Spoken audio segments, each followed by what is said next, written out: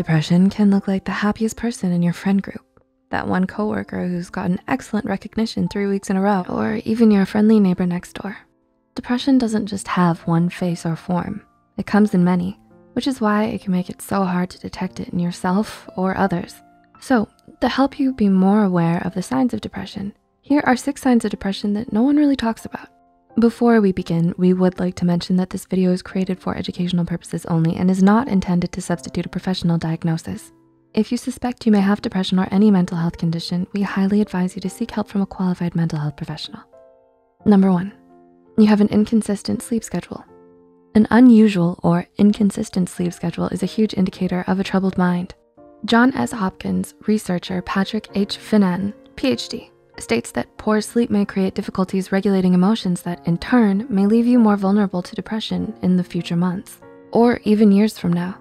Moreover, a recent study conducted by Finan had analyzed healthy men and women who had interrupted sleep through the night and found a notable 31% reduction in positive moods the next day.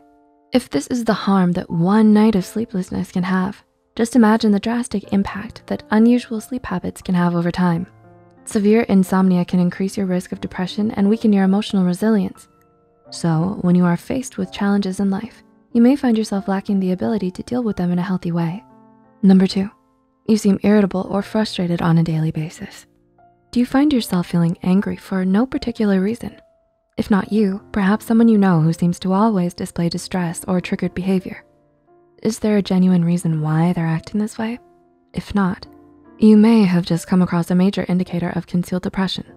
This person is most likely acting this way due to going long lengths of time, suppressing or avoiding their stress or emotions. It's, it's kind of like a glass of water that fills up to the brim and then overflows when it can't take anymore. When you suppress and ignore your emotions, you may end up releasing them with external negative energy and frequent microaggressions throughout the day. Number three, your happiness seems forced. Do you know someone who always seems almost too cheerful? Forcing happiness to cover up internal sadness is actually known as smiling depression. The National Alliance on Mental Illness explains that smiling depression involves appearing happy to others, smiling through the pain, and keeping the inner turmoil hidden. It's a major depressive disorder with atypical symptoms. As such, you may not even know you're depressed or you won't seek help. This sign can be very hard to notice because you can appear to be put together and accomplished on the outside. Or you may just have a genuinely joyful personality that makes it hard to differentiate.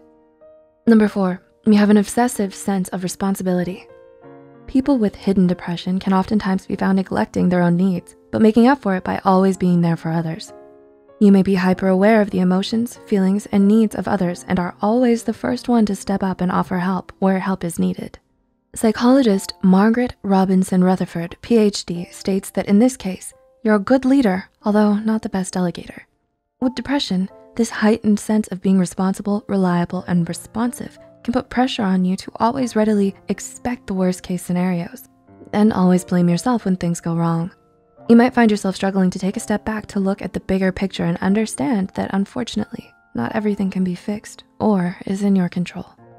Number five, you work extra hard to stay busy. When you have a lost desire to thrive fully as a person, you may resort to measuring your self-worth on a scale of how productive you are in a day. Margaret continues to explain this by stating that you count on activity and accomplishments to distract yourself from any inner insecurities. You may not know what brings you a sense of esteem, except for those accomplishments and tasks. This may be why you tend to stick with a packed schedule, mainly as an attempt to run away from the real problem at hand and to avoid facing the confusing internal criticism and conflict you're experiencing. And number six, you compartmentalize your feelings. Do you have a habit of locking away your feelings? People that are internally trapped in a depressive state are often known to compartmentalize their feelings.